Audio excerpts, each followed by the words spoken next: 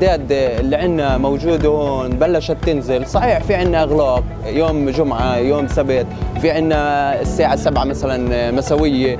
هلأ في لها دور. سبب انخفاض عدد الاصابات كورونا. أول سبب بعتقده إنه زيادة وعي المواطن. أنا بقول لك الإجراءات لسبب واحد لأن أنا مقتنع بذلك بس في غيري مش مقتنع. ليه؟ لأنه مصالحه مصالحه الشخصية. إنه الواحد يضل في بيته أهم شيء مع إنه إحنا زهقنا من قعدة البيت يعني وانضغطنا كثير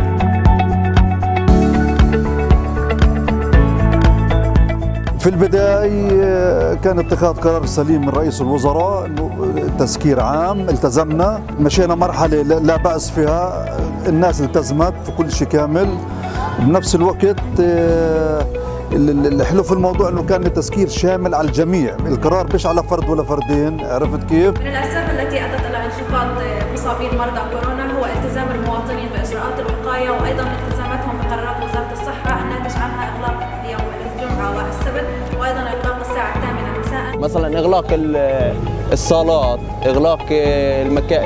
المكانات يعني اللي بتجمع فيها الناس كثير فما لها دور. لما يعني ما قصرنا هاي الفترة في السبت والجمعة إنه تتسكر كانت هي عبارة ناجعة لسببين السبب الأول إنه وقفنا جينيتهم هناك. لاحظ أنت يوميا عندنا 10000 إصابة.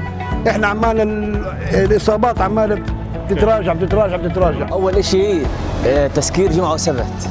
هو بشكل كبير خفض مستوى إصابات كورونا.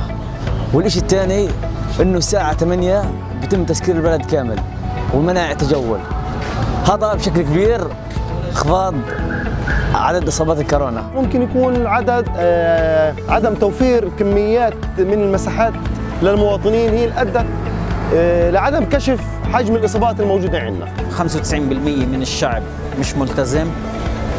95% بطل يفحص. الكورونا موجودة مش إنها مش موجودة. بس الاعداد اللي خفت هي بس إنه اللهم ما بيفحصوش. الناس أنواع. في قسم بنفذ التعليمات وبفحص والفحص وقاية من الأمراض. وفي ناس غير غير مبالين. هلا إحنا بنطلب من الناس انها هي تلتزم بالأمور الكمامه بالتباعد. آه شوي نخفف شوي نخفف يعني ضغوطات فاهم علي كيف؟ بالأماكن العامة. وإن شاء الله السلامة للجميع.